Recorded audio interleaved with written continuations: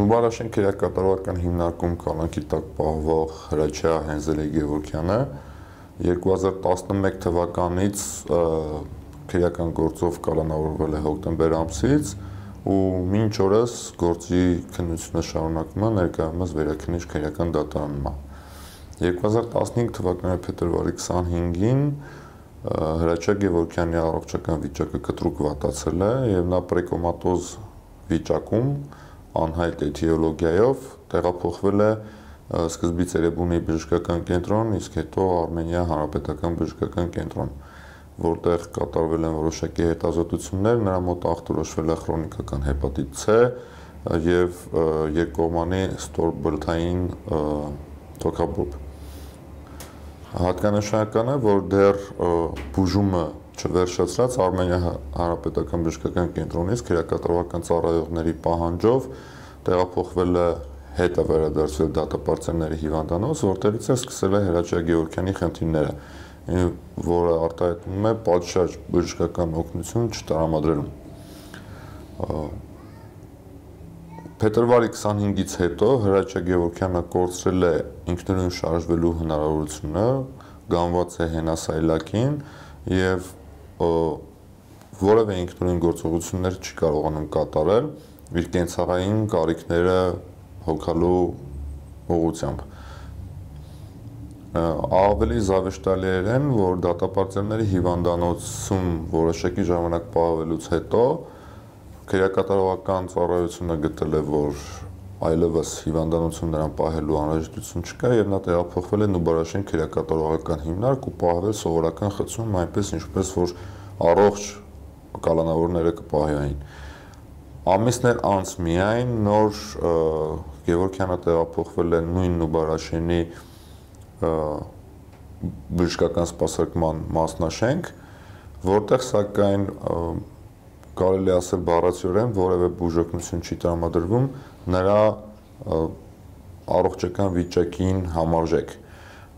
Նրա մոտ բացի թոքաբորբը եւ հեպատիտ C-ն Ընթացքում ախտորոշվել է նաև քրոնիկական բրոնխիտ, իսկ արդեն մի քանի ամիս է նրա մոտ ախտորոշված է Պարկինսոնիզմի համ, համախտանիշ, որը պետք է նշել, որ ներառված է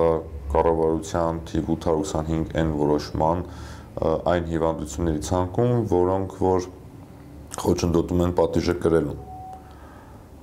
Հրաչյա Գևորքյանին թե պարկինսոնիզմի դեմ, թե քրոնիկական բրոնխիտի դեմ, թե հեպատիտ C-ի դեմ որևէ բուժում բառացիորեն չի իրականացվում։ Գևորքյանը եւ նրա մայրը դիմել են Հայաստանի Հանրապետությունում բոլոր իրավասու մարմիններին եւ պաշտոնատար անձանց, ստանում են ստանդարտ ձևակերպումներով պատասխաններ, որ գտնվում են Նուբարաշեն քերակատարողական հիմնարկի բժշկական անձնակազմի հսկողության տակ, բժշկական հաստատություն տեղափոխվելու կարիք չունի եւ ստանում է ստացիոնար բուժում։ Թե ինչու՞մն է արտահայտվում այդ ստացիոնար բուժումը, տեղորայքային բուժումը, որևէ խոսք չկա դրա մասին, իսկ Գևորքյանը պնդում է, որ ոչ մի բուժօգնություն չի ստանում։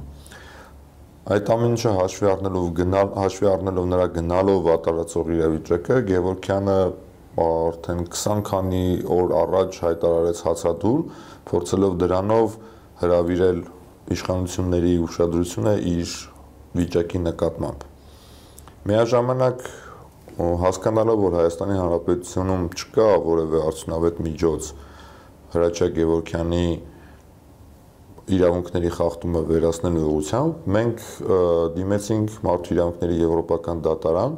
դատարանի կանոնակարգի 39-րդ կանոնի սահմանված կարգով կառավարությունից պահանջելով